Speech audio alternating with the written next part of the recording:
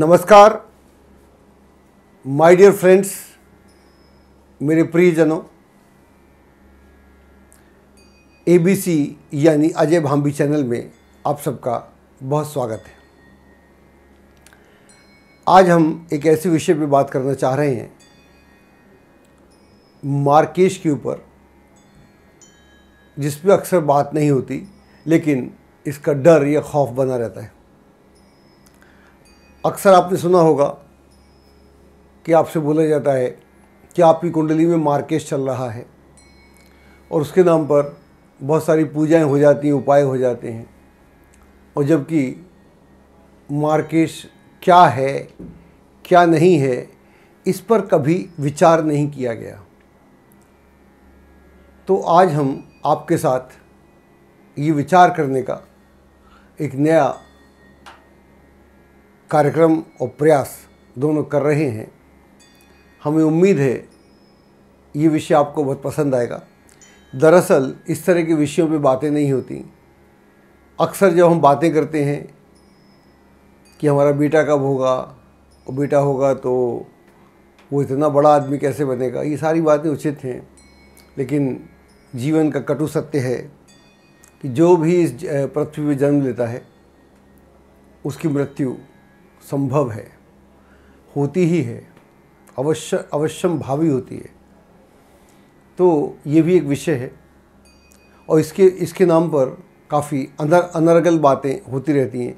और मेरा ऐसा भी मानना है कि इतना लोगों को साढ़े सात या शनि ने नहीं डराया, पूरे समाज की मैं बात कर रहा हूँ, ना ही मंगल ने ने डराया, मंगल दोष ने डराया, और ना ही पितृ पक जो है पितृदोष या राहु राहु दोष, काल सब दोष, इस इस सबने इतना कभी नहीं डराया।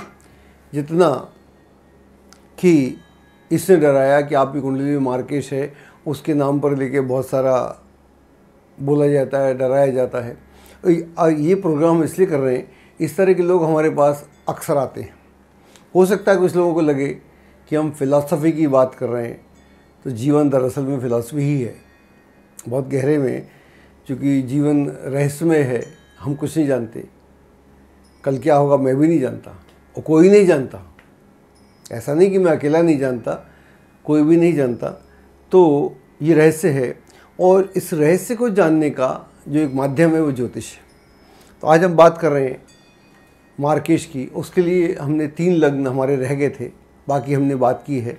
आपने देखे होंगे। ये तो आप देख लीजिएगा। हमारे चैनल पर ऑलरेडी चल रहे हैं। हम बात कर रहे हैं कर्क लगन की, वृश्चिक लगन की और मीन लगन की, कैंसर की, स्कॉर्पियो की और पाइसिस की। तीन लग्न की बात कर रहे हैं और मार्केश या राजयोग दोनों ही लग्न से ही देखे जाते हैं। चंद्र लग्न से नहीं, उसकी मदद कई बार ली जाती है। वो अलग सिचुएशंस हैं, लेकिन 99 परसेंट हम लोग यहीं से देखते हैं। ऐसा ही विधि विधान है। तो जो हमारे मार्केश होते हैं, उसमें से जो सबसे पहला मार्केश होता है, ऐसा बोलते हैं सप्तमेश है, लॉर्ड ऑफ़ सेवन्थ और दूसरा बोलते हैं लॉर्ड ऑफ़ सेकेंड, फिर लॉर्ड ऑफ़ एट्थ और लॉर्ड ऑफ़ थर्ड। तो द्वितीयेश, तृतीयेश, सप्तमेश और अष्टमेश, ये हमारे चार मूलतः मार्केश हैं। और इनमें से किसी की दशा चल जाए कुंडली में तो हम उसको मार्केश मानते हैं। और मार्केश से जो हमारा आशय है, वो ग्रह जो हमारी मृत्यु का कारण है या बनेगा। तो इस पर कभी हमने विचार नहीं किया, ना ही कोई हम हमसे पूछने आता है कि अमुक बच्चा जो पैदा हो रहा है वो कब मरेगा, ऐसा नहीं पूछा जाता। हम मृत्यु को छुपा के भी रखते हैं। और ये कटु सत्य है। इस पर बात तो होना चाहिए। हर जगह बात होती है, धर्म में बात होती है मेडिकल साइंस में बात होती है। हालाँकि डरते भी हैं लोग बात भी करते हैं। मेरे को लगता है बात तो करना चाहिए। तो यहाँ पर जो पहला मार्केश है, नंबर वन, सब लग्नों के लिए एक ही सूत्र है। तो यहाँ पर हम बात कर रहे हैं लॉर्ड ऑफ़ सेकंड की। जब लॉर्ड ऑफ़ सेकंड की बात करते हैं तो जब कर्क लग्न है जैसा आप देख रहे हैं कर्क लगन की कुंडली जो है, उससे जो सेकंड हाउस है, उसकी जो राशि बनेगी, वो बनेगी सिंह। तो सिंह राशि जो है, उसका स्वामी है सूर्य, लियो का स्वामी, सूर्य है। और कर्क लगन का जो स्वामी है, वो चंद्रमा है। सूर्य और चंद्रमा में एक मित्रता है और जो भी चंद्रमा है, वो सूर्य के कारण ही है, ये हम सब जानते हैं। तो दोनों परम मित्र हैं, दोनों का पूरा संबंध है और इस दोनों के मिलान से ही पृथ्वी पर सृष्टि चलती है। तो ये मारक नहीं हो सकता। कर्क लगन के लिए मारक नहीं हो सकता। हालाँकि ये चार प्रकार के मारकों में एक मारक ये भी है तो इस मारक को रूल आउट करना पड़ेगा। This can not be the killer बहुत विषम स्थितियों की में यस हो सकता है। उसके लिए फिर हमको सब्जेक्टिव होना पड़ेगा, कुंडली देखनी पड़ेगी, सूर्य की नक्षत्र देखने पड़ेंगे, किस दृष्ट है, किसने इफ़ेक्ट किया एफ्लेक्ट किया, वो अलग स्थिति है। बाई एंड लार्ज नहीं नाइन्टी परसेंट नो अब हम दूसरे लग्न की बात करते हैं, वृश्चिक की। वृश्चिक जो हमारा लग्न है, स्कॉर्पियो, उसका स्वामी है मंगल। और जो सेकंड हाउस है वहाँ पर, उसका स्वामी है वहाँ राशि है धनु और उसका स्वामी है गुरु। गुरु जो है वृश्चिक लगन के लिए लॉर्ड ऑफ़ सेकंड भी है, लॉर्ड ऑफ़ फिफ्थ भी है, उसको बहुत बड़ा कारक माना जाता है वृश्चिक लगन के लिए। और ये इसके साथ ही मंगल, लग्नेश का बड़ा भारी मित्र है। दोनों के मिलने से उच्च कोटि के राजयोग बनते हैं। तो इसमें धनु राशि का जो स्वामी है गुरु या बृहस्पति, वो मारक नहीं हो सकता। हालाँकि सेकंड हाउस को मारक माना जाता है। तो ये मारक नहीं है, इसको भी हम 90 परसेंट रूल आउट कर सकते हैं। अब हम बात करते हैं मीन लग्न की या पाइसेस की। मीन लग्न का जो स्वामी है, आप सब जानते हैं, वो है बृहस्पति या गुरु। और वहाँ पर जो सेकंड राशि है, वो पड़ती है एरीज या मेष। उसका स्वामी मंगल है। गुरु और मंगल में यहाँ भी मित्रता है और मंगल यहाँ पर योग कारक है।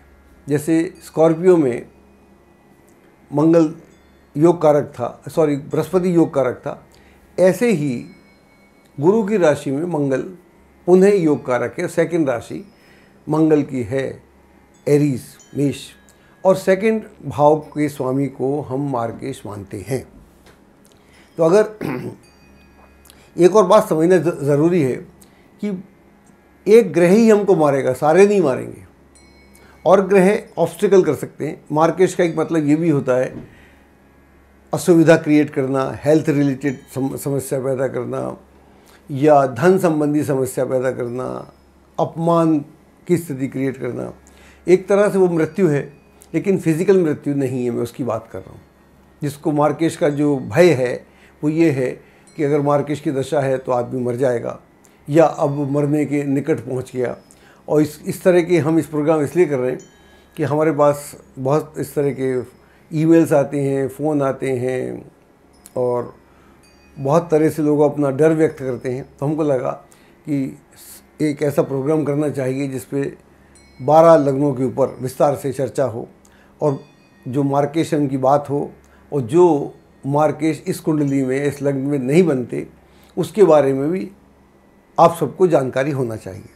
अगर कोई भ्रम फैलाता है तो फिर आप उससे बच भी सकते हैं। तो लॉर्ड ऑफ़ सेकेंड मार्केश होता है। कई जगह होता भी है, ऐसा नहीं बोलता कि नहीं होता है, लेकिन इन तीन लग्नों में नहीं है। ये पॉइंट है।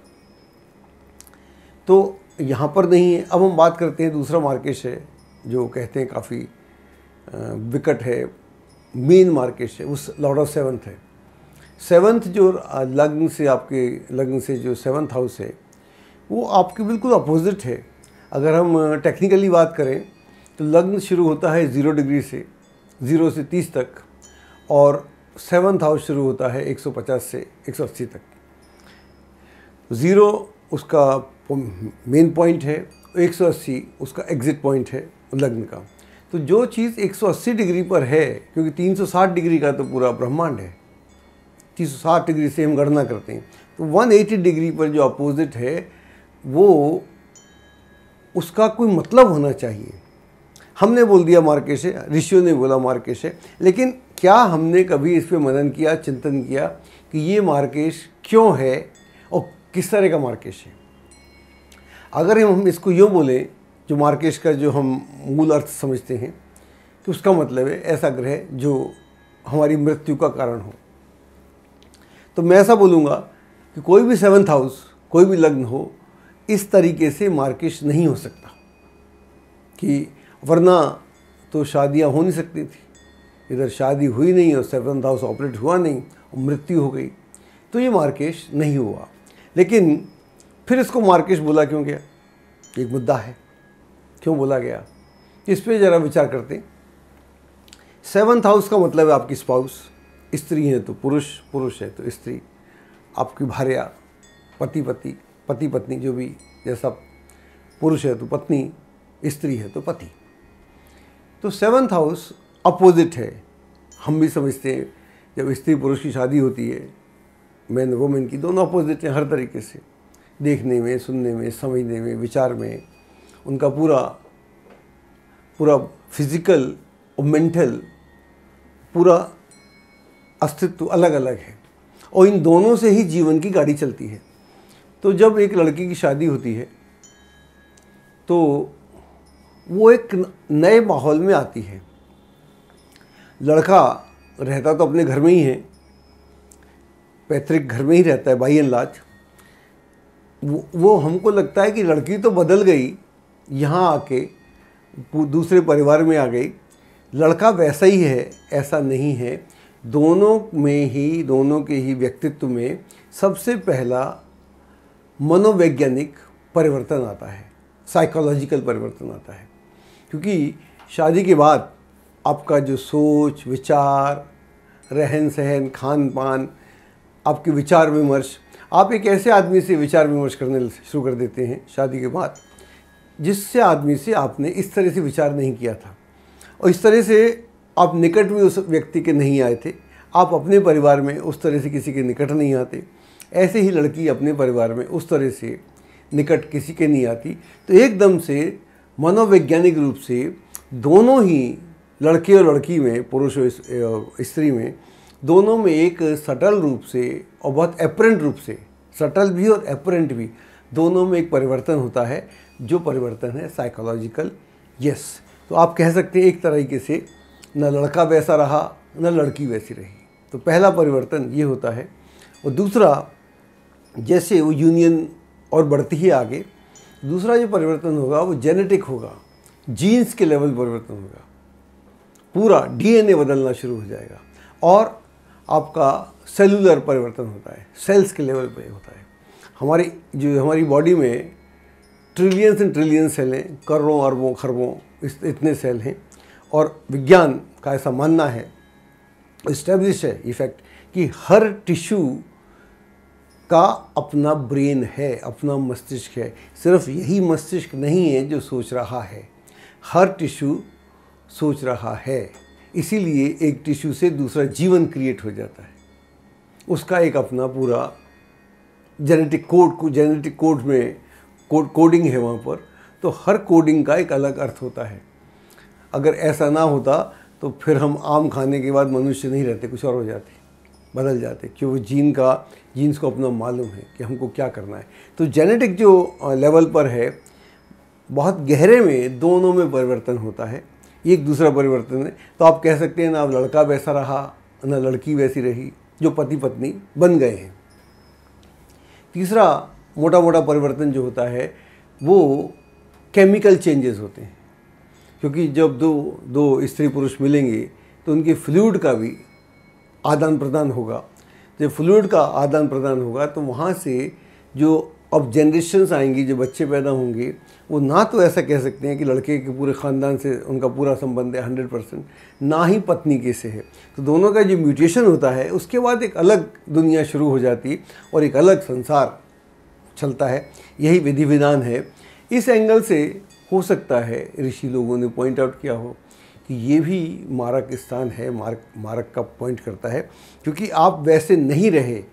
मैं जब इस तरह के प्रोग्राम करता हूँ तो हो सकता है कि नहीं लोगों के मन में ऐसा हो कि मैं फ़िलासफ़ी कर रहा हूँ, मैं दर्शन की बात कर रहा हूँ, मैं ज्योतिष की बात नहीं करता हूँ। ऐसा हो सकता है, कुछ लोगों का मन हो सकता है। लेकिन अगर गहरे में आप सोचेंगे तो जीवन दर्शन तो है ही। जीवन दर्शन से दूर नहीं हो सकता। और जब जीवन दर्शन से दूर होगा फिलॉसफी से दूर होगा तो वो जीवन का महत्व खत्म हो जाएगा। तो जीवन दर्शन के पास होगा और जीवन मिस्ट्री के पास होगा तब हम जीवन को समझ पाएँगे। तो जीवन एक मिस्ट्री है ये पूरा ब्रह्मांड एक मिस्ट्री मिस, मिस्टीरियस है ये एक मिस्ट्री है। जो, जिसको डीमिस्टिफाई करना है। मैं इस पृथ्वी में क्यों आया? मैं क्यों आता रहता हूँ? मेरे जन्म क्यों होते हैं? आपके जन्म क्यों होते हैं? एक पर्टिकुलर ही मेरे माँ बाप क्यों होते हैं? एक पर्टिकुलर ही मेरे घर में बच्चे क्यों पैदा होते हैं? एक हर तरीके से मैं एक ऐसे माहौल में रहता हूँ, जो मैं ना चाहते हुए भी रहता हूँ और मेरी उसमें चाहत का का बहुत कम लेना देना है। तो जीवन एक मिस्ट्री है, ये फिलॉसफी नहीं तो और क्या है? बाकी तो हम कमाते हैं, आगे बढ़ते हैं जीवन में, लेकिन जीवन के कुछ सत्य हैं। और ज्योतिष का जो अर्थ है बहुत गहरे में, ईश्वर की ज्योति। ज्योत धन ईश। ज्योतिष का सीधा सा अर्थ है। तो ईश्वर की ज्योति अगर हमने नहीं जानी तो फिर ज्योतिष हमने अधूरा जाना।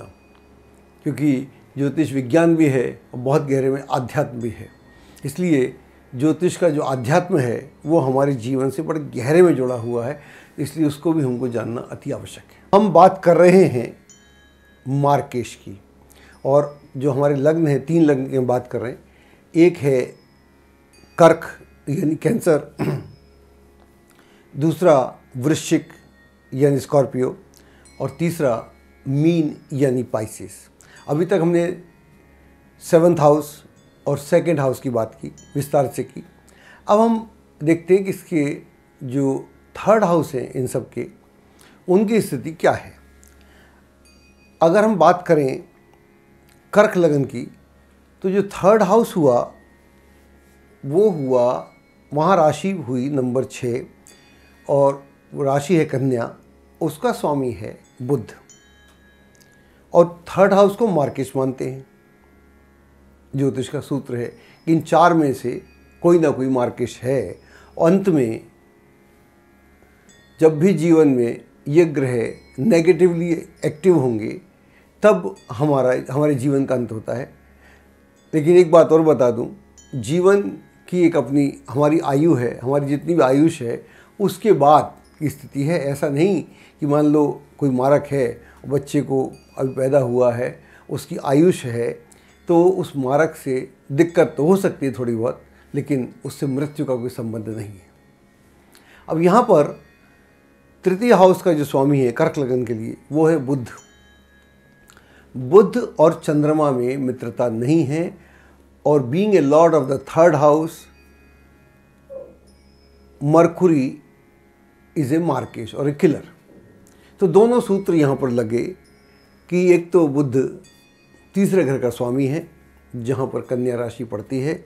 और सेकेंडली लग्नेश, जो यहाँ पर लॉर्ड ऑफ़ लग्ना मून है, उसके साथ बुद्ध का कोई तारतम्य नहीं है।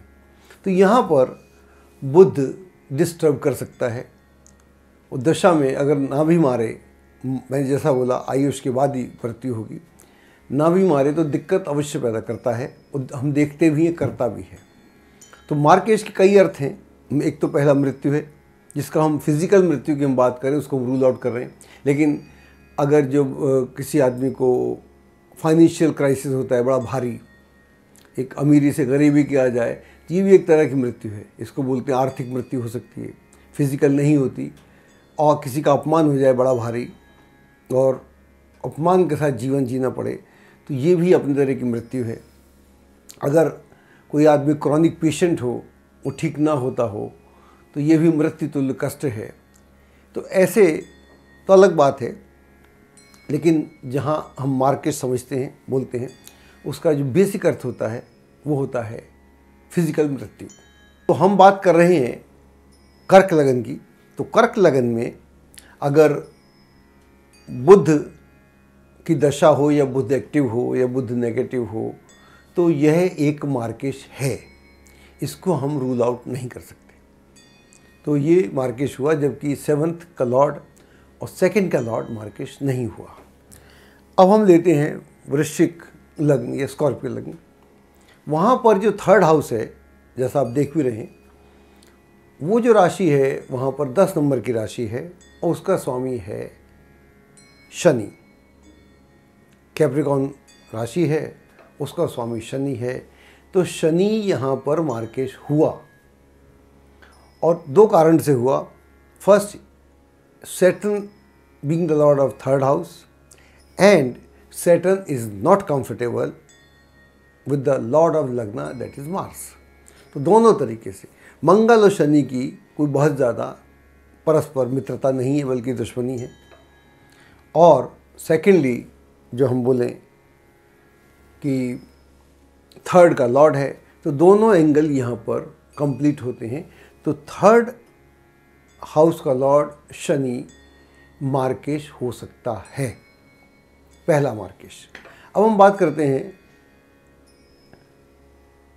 मीन लगन यानी पाइसेस लगन की। तो मीन लगन से जो तीसरा भाव हुआ, तीसरा नंबर वहाँ पर वृक्ष राशि या टॉरस राशि पड़ती है, उसका स्वामी है शुक्र। तो शुक्र और गुरु में तो बहुत ज़्यादा दोस्ती नहीं है तो हम ऐसा कह सकते हैं कि ये जो है, ये भी मार्केश हुआ। दो नहीं हुए थे, इन तीनों लग्न में हमने देखा, लग सेकेंड हाउस नहीं हुआ था और सेवन्थ हाउस नहीं हुआ था। लेकिन ये बाकी तीनों मार्केश की कैटेगरी में आते हैं। अब हम बात करते हैं जो चौथा मार्केश है इन लग्नों से उसका क्या एंगल बैठता है? जब हम बात करते हैं कर्क लग्न की तो वहाँ से जो अष्टम हाउस है, उसका जो स्वामी है लॉर्ड ऑफ़ एट्थ वहाँ राशि पड़ेगी ग्यारह नंबर की, आप देख भी सकते हैं। और वो शनि की राशि है। चंद्रमा और शनि में बहुत तालमेल नहीं है, बल्कि एनिमिटी है। तो यहाँ पर जो एट्थ हाउस का लॉर्ड है शनि मार्केश का रोल अदा कर सकता है। बाकी नहीं है, ये कर सकता है। अब अगली, अगला साइन देखते हैं, अगला लग्न देखते हैं। दैट इज़ स्कॉर्पियो या वृश्चिक वहाँ पर जो अष्टम भाव है, उसकी राशि पड़ती है तीन नंबर की। आपके स्क्रीन पे भी है। और तीन नंबर जो है, वो बुद्ध का है। मिथुन राशि है, उसका स्वामी बुद्ध है तो यहाँ कह सकते हैं कि लग्नेश, मंगल और अष्टमेश बुद्ध में तालमेल नहीं है और बुद्ध यहाँ मारक का रोल कर सकता है। करेगा, नहीं करेगा ये देखना पड़ेगा क्योंकि यहाँ पर बुद्ध जो है लॉर्ड ऑफ़ इलेवेंथ भी है। तो ये भी सूत्र हैं, लगाने पड़ते हैं। तो यहाँ पर पहला मार्केट शनि होगा, ना कि बुद्ध। बुद्ध ऑब्स्टिकल क्रिएट करने वाला होगा। हम मार्केट को ऑब्स्टिकल से भी जोड़ते हैं, ना कि मृत्यु से। लेकिन जो समाज में भय व्याप्त है, वो मृत्यु से है। ज़रा सा बच्चे को बीमारी हो जाए तो लोग बोलते हैं मार्केश की दशा है। ज़रा सा एक्सीडेंट हो जाए तो बोलते हैं कि मार्केश की दशा है। और ज़रा कुछ और गड़बड़ हो जाए, अगर कभी आईसीयू में जाना पड़े तो आदमी को बोलते हैं मार्केश है। जबकि आजकल इतना पोल्यूशन है, सबसे शहरों में, कि बड़ा मुश्किल है आदमी को ठीक से सांस ले ले पाना। तो मार्केश तो एक्चुअली समाज में मतलब वातावरण में चल रहा है। उसका इलाज कोई नहीं कर रहा। ये भी बड़ी दुर्भाग्य की बात है। अब हम बात करते हैं तो हमने ये ती, तीनों चारों मार्केश की बात की। लग्न से कौन कौन से मार्केश हैं उन सब की बात की। एक और मार्केश मानते हैं जिसको मैं तो नहीं मानता। ऐसा बोलते हैं लोग लिखा भी हुआ है कि जो लॉर्ड एलेवेंथ होता है एकादशेश एकादश भाव का स्वामी वो भी मार्केश होता है। जरा उसकी पड़ताल करते हैं, जानने का प्रयास करते हैं। कर्क लगन से जो एकादशेश है, वो है शुक्र। वृक्ष राशि पड़ी वहाँ पर, और वृक्ष राशि का स्वामी जो है, वो वीनर से शुक्र है।